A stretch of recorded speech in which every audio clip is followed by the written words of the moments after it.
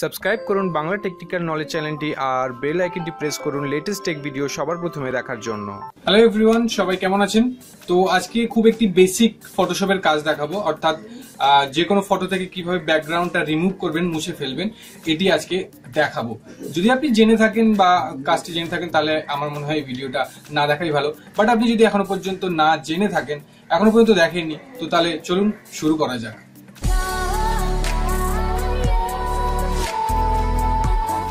Computer স্ক্রিনে চলে এসেছি, এবার আমরা ফটোশপ খুলবো। আমি ফটোশপ ইউজ করছি সিএস সিক্স এখানে আসার পর যে ফাইলটা থেকে আমি যে ছবিটা থেকে ব্যাকগ্রাউন্ড রিমুভ করতে চাইছি, সেই ফাইলটা আমি এখান থেকে সিলেক্ট করে নেব।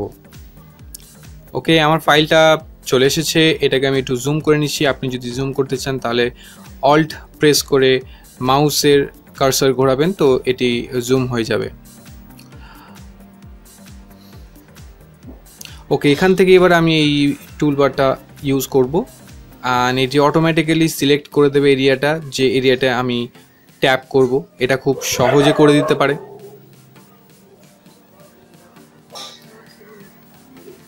আস্তে আস্তে পুরোটা সিলেক্ট করে নেব। আপনিও এরকম করে পুরোটা সিলেক্ট করে নেবেন।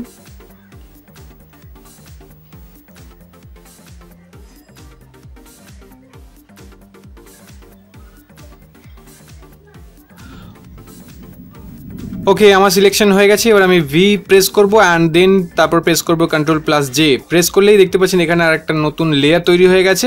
তো এইবার এখানে আই বাটনে ক্লিক করলে দেখতে পাচ্ছেন লেয়ারটা রিমুভ হয়ে গেছে, অর্থাৎ ব্যাকগ্রাউন্ডটা রিমুভ হয়ে গেছে। অ্যান্ড দেন এখান থেকে আমি গিয়ে একটু কালার কারেকশন করব ব্রাইটনেসটা একটু বাড়িয়ে দেবো। তো এটা লেয়ারটার একটু এক্সট্রা বেনিফিট পাবে লাইট হবে। অ্যান্ড দেন আমি আর একটা ফাইল ওপেন করব, অর্থাৎ ব্যাকগ্রাউন্ডে আমি একটা ছবি দিতে চাইছি, একটা, অন্য একটা পিকচার্স দিতে চাইছি। আপনি যদি দিতে না চান, তাহলে এখানেই এখানেই ছেড়ে দেবেন। অ্যান্ড দেন এখান থেকে আপনি সেভ করে নিতে পারেন। তবে সেভ করলে এখান থেকে যদি সেভ করেন, তাহলে শুধু পিএনজি ফাইলটা দেবেন। তো আমি জাস্ট এইটাকে কি করব, আমার যে ছবিটা আমি ওপেন করেছি, সেই ব্যাকগ্রাউন্ড ছবিটাতে আমি এটাকে নিয়ে চলে যাব, এখানে ছেড়ে দেবো। এবারে একটু সাইজটা অর্থাৎ রিসাইজটা একটু চেঞ্জ করে নিতে হবে। তার জন্য আপনি প্রেস করতে পারেন কন্ট্রোল প্লাস টি ওকে এইবারে এটাকে একটু আমি ছোট করে নেব।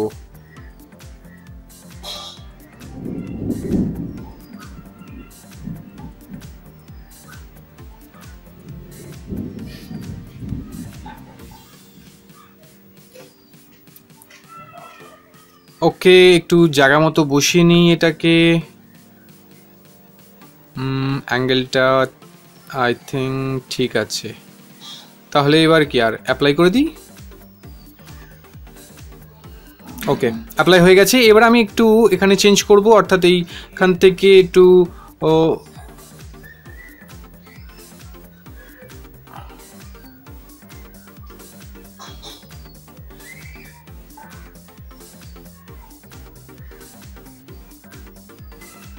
স্ট্রোকটা বাড়িয়ে দিই।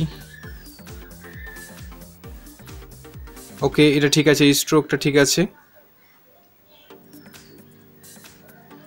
দেন কালারটা আমি চেঞ্জ করে দেবো, আমি হোয়াইট রাখব। আপনি যদি অন্য কোনো কালার দিতে চান, তাহলে সেটা চেঞ্জ করে নিতে পারেন। না, এটা হোয়াইট ঠিক হলো না। ওকে, ঠিক আছে। হয়ে গেছে। মোটামুটি আপনি যদি এখান থেকে সেভ করতে চাইছেন সেভ করে নিতে পারেন। যদি কোনো টেক্সট অ্যাড করতে চাইছেন বা এর মধ্যে দিয়ে আরও অন্য কিছু জিনিস অ্যাড করতে চাইছেন, তো করে নিতে পারেন।